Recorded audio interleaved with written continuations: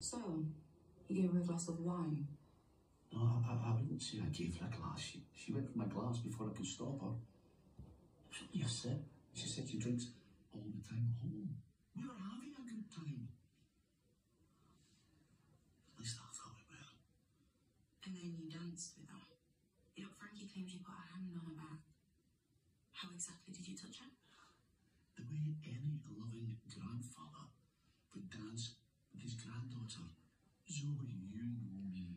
me. I'm be your grandmother for But my personal opinion of you is irrelevant. I'm sorry. And then what happened? And then she went to her room. I suppose she was a bit quiet and I went to meet Belle. Zoe, look.